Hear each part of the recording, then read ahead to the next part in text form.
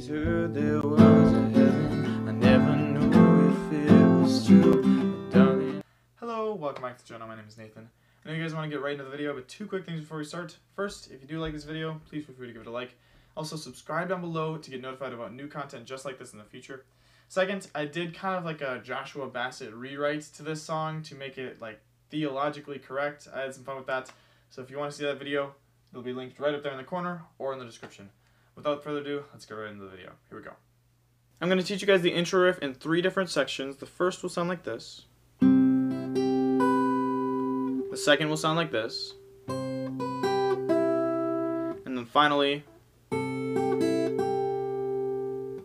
Now, starting on the first one, we're going to be in this G7 chord shape with our middle finger on the third fret of the low E, ring finger on the third fret of the B, and pointer finger on the second fret of the high E. And for the very beginning, we're going to pull off our ring finger and just play an open B string. So to start off, we're going to strike with our thumb, our pointer, and our middle on the low E, the D, and the G strings. Then our middle finger is going to play the B string. We're going to place our ring finger down and we're going to play the B string again with our middle. And then we're going to play the high E string with our ring finger. So now the whole first section will sound like this. For the second section, we're going to go from this shape and we're going to place our pinky on the third fret of the high E. Now we're going to strike the low E and the high E with our thumb and our ring. Now we're going to pull our pinky off and play the high E string again. Now we're going to play the B string with our middle. And then we're going to pull off our ring finger and play the B string again. So now all of section 2 The third section is also going to start in this G7 shape, except we're going to take our pointer finger off, and we're going to be playing an open E with our ring finger, and then the low E with our thumb. Then our middle finger is going to play the B string, then we're going to pull off our ring finger and play the B again, and then put it back on and play the B a third time. So all together. The entire first half of the intro riff is going to use sections 1 and 2 along with this D major chord, which is going to have an open A, an open D, and your pointer finger on the second fret of the G. So now section 1 and section 2 combined with that will sound like this.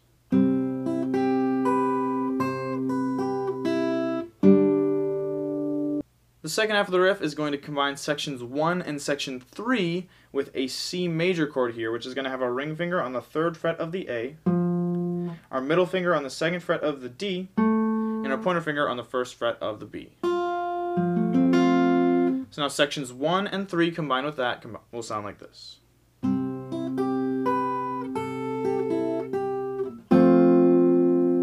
And that can be used for the intro between a chorus and a verse, between the chorus and the bridge, and then finally for the outro. As I said before, we're going to have our capo on the 5th fret, and we're going to be using chords in the key of G major. Starting off with the G major chord, we're going to have our middle finger on the 3rd fret of the low E, pointer finger on the 2nd fret of the A, and ring and pinky on the 3rd fret of the B and the high E.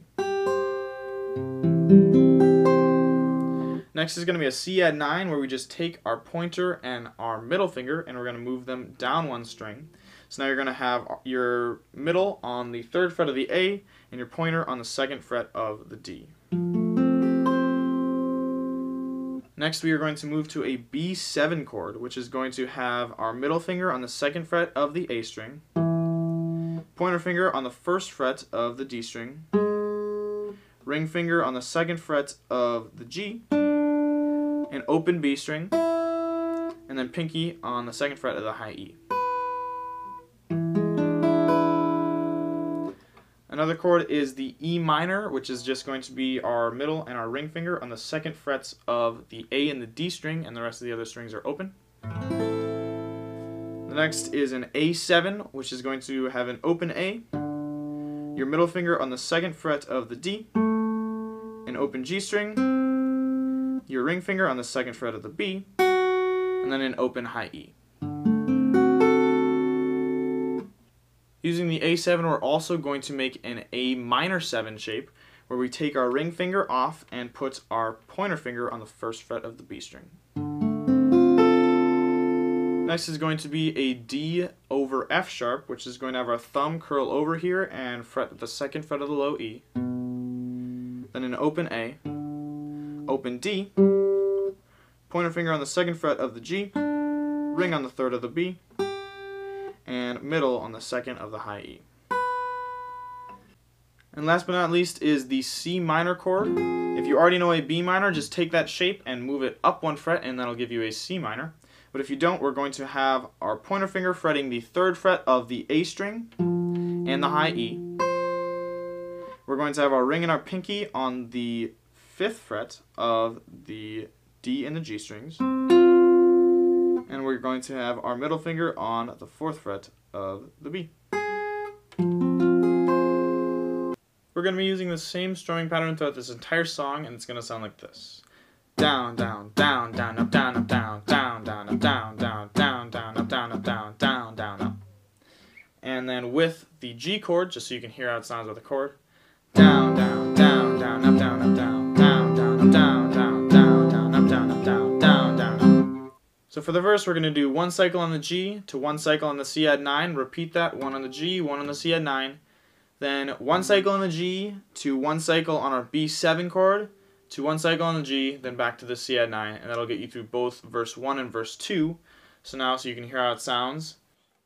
My parents told us when our time on earth is up that there's a place that we would go if we were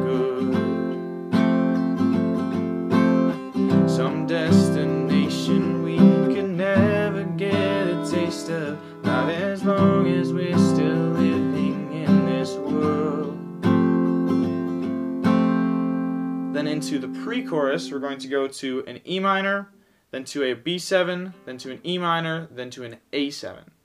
So lately I've been questioning my faith.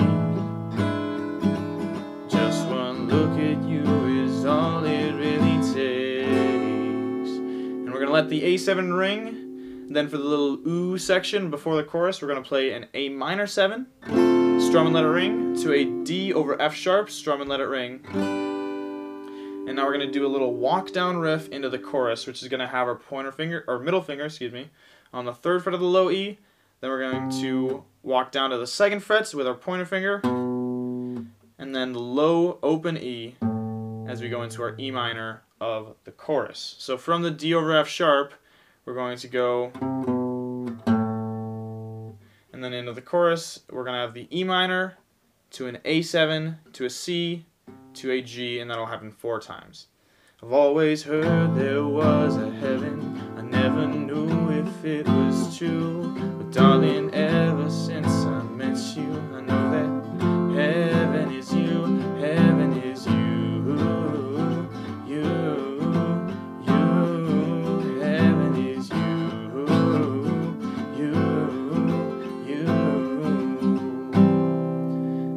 play the intro riff either to get into verse 2 or the bridge. And the bridge is going to be moving back and forth between the G and the C add 9. And then right at the end, we're going to play a C minor.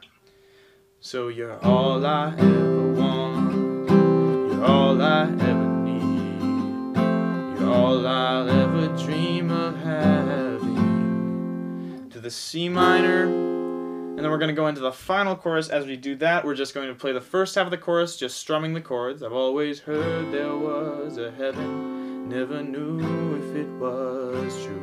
But darling, ever since I met you, I know that heaven is you, heaven is you. Back to strumming for the second half.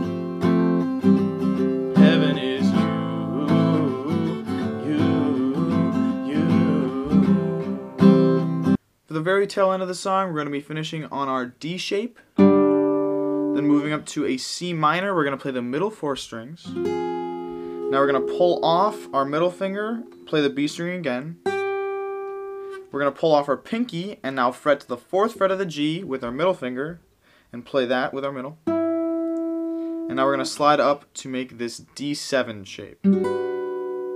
which is going to have our pointer finger here on the 5th fret of the D, or the A, excuse me. Our ring finger on the 7th fret of the D, middle finger on the 6th fret of the G, and then pinky on the 7th fret of the B string. And now for the full outro.